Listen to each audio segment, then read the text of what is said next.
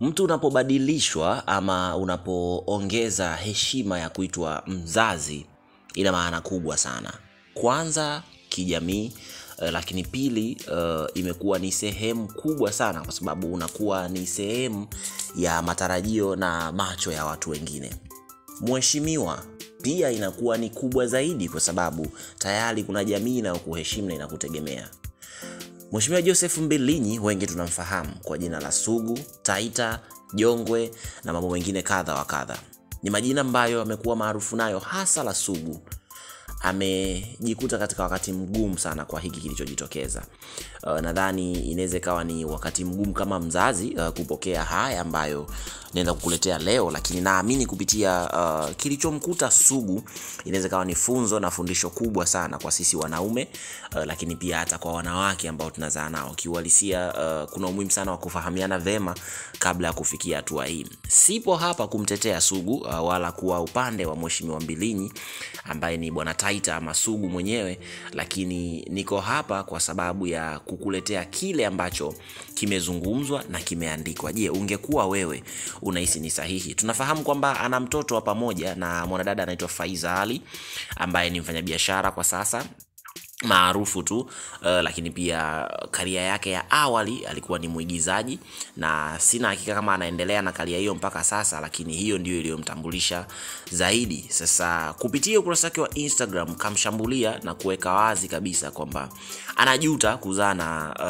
uh, mheshimiwa Sugu, lakini pia akazungumza maneno mengi sana humu ndani. Naomba nikuletee ujumbe mzima aliouandika hapa. Bahati nzuri ameandika kwa Kiswahili kilichonyooka na nitajitahidi kuskip baadhi ya matusi, lakini naamini nisikilize na nifuatilie mwanzo mpaka mwisho mwa hii habari, utajifunza kitu kikubwa sana. Haijalishi upo kwenye ndoa ama uh, haupo kwenye ndoa, umeoa ama ujaoa naamini hii inaweza ikawa ni sehemu kubwa sana ya wewe kujifunza kwa hiki alichokifanya mwanamke huyu ambaye sijui uh, labda huenda ndo busara za siku hizi na teknolojia inavyoenda. faidhali anaanza hivi.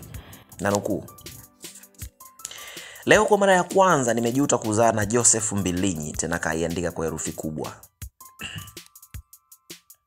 Anaendelea kwa kusema, hawa ndio wale wa baba, kuna time unatamani usikie wamekufa, yaani watoto wetu wapumzishe nafsi zao. Mwanangu asubuhi hii anaenda shule, analia na kuna mitihani. This is not first time, is more than three times. Mwanangu anamkumbuka baba yake. Nimeshamwambia so many times, msahau huyu baba, hana mpango na wewe wala hajali hisia zako, lakini mtoto kila muda uh, ukipita anamkumbuka tena. Kuna wakati namuuliza uh, na, kuna, kuna wakati namuuliza Mwenyezi Mungu kwa nini umenipa janaume lina roho mbaya kiasi hiki, mwanaume asiyekuwa na akili wala huruma juu ya kizazi chake? Janaume linakuwa sugu for no good reason, yaani why me? Sura mbaya, roho mbaya, tabia mbaya, why? Oh dear Lord, I hate to say this, lakini honestly najuta, akimaanisha kwamba oh Mungu na juta kufa I mean, nachukia kusema hivi lakini kiukweli kusema kutoka moyoni na juta.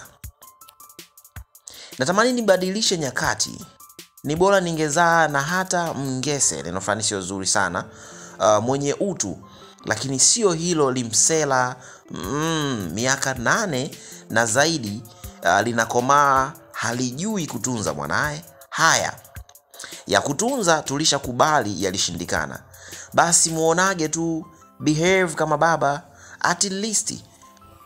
Mara unaingia mara unatoka, hueleweki.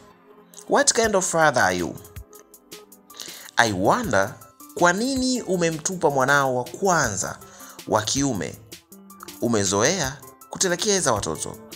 Ungekuwa mwanamke, ungekuwa wale ma ninafani sio zuri sana, wanaoachaga watoto hovyo pumbavu. Halafu unakaa kwenye jukwaa eti mwanasiasa, mwanasiasa, my foot. Njaa tu pumbavu. Ungekuwa kiongozi bora, uongozi ungeanza kwanza kwenye familia. na inshallah hupati lolote kwenye siasa. Sahau, labda uwe shabiki mandazi tu au chawa wa wanasiasa. Kama unanikomesha mimi juu ya mtoto, sikomi mimi. Anayekoma ni mwanao unayemhukumu bila hatia. Na sitii huruma na sikuombi, ni wajibu wako. Kama unasubiri siku ni kuombe msamaha kwa lolote lile, unasubiri embe chini ya mnazi. Kuona mtoto uh, kutu, kutunza ni wajibu na sio ombi.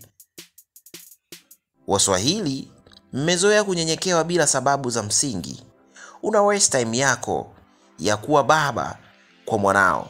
Muda haukusubiri. Time is not now. Wake up.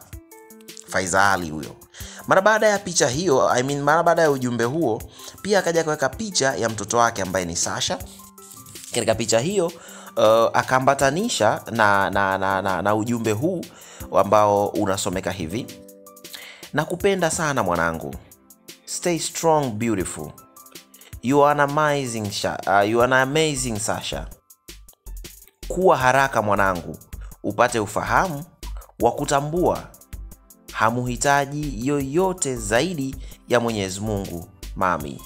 Akamaliza kwa kuzungumza hivyo kwamba anamwombea mwanaye akuwe haraka ili ajue, ajitambue kwamba hamuhitaji mtu yoyote zaidi ya Mwenyezi Mungu.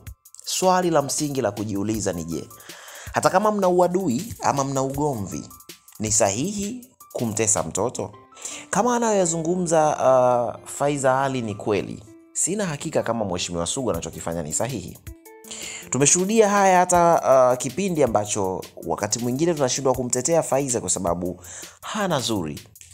Kipindi ambacho anaadhimisha miaka 30 kwenye game, baba yake ambaye ni huyo mtoto sasa, uh, ambaye ni Sugu alimchukua mwanaye na kuwa nawe kwenye pati, lakini baada ya kupiga picha uh, na Rais wa Jamhuri ya Muungano wa Tanzania Dr. Samia Suluhu Hassan Faiza alisema uh, na yule mke wa uh, Sugu ambaye anaishi naye sasa aliiposti picha ya Sasha, akaja na maneno mazito matusi kwamba hataki mazoea na mwanaye, afute picha za mtoto wake kwenye peji yake, aendelee kuposti picha za watoto wake wabaya, mala sijui vichwa vipoje. Na maneno kadha wa kadha. Of course ni ile hate ambayo yuko nayo kwa yule mwanamke anayeishi na Sugu. Tunafahamu wake wenza hawajawahi kupatana hata siku moja, lakini vipi huyu mtoto ambaye nadhani tangu hapo Jongwe Sugu Taita mwenyewe akaona sasa acha akili kukae, lakini sioni uh, sababu ya mtoto kuendelea kuteseka. Uh, sioni sababu ya mtoto kuendelea kupata tabu kwa sababu ya wazazi. By the way, umri kama labda haumruhusu kukaa na baba yake. Yawezekana inaweza kawa ni wakati mzuri tu kumchukua na kuishi naye, kwa sababu hizi lawama ambazo tunazipokea mara kwa mara, Faida amekuwa akilalamika sana kwamba Sugu ajari uh, hana roho kwa, kwa watoto, lakini pia anamlaumu ana uh, mhukumu mke anaishi na Sugu kwamba kamroga, hajitambui, lakini pia hana upendo kwa watoto, aweze karuhusu akakaa na mwanaye. So maybe kuna mambo ambayo hata Sugu anayapitia, uh, hawezi tu kutueleza, lakini uh, iko wazi kwamba hafurahishwi na huyo mwanamke. Nadhani mwanaume, mwanamke, tuna jambo la kujifunza hapa.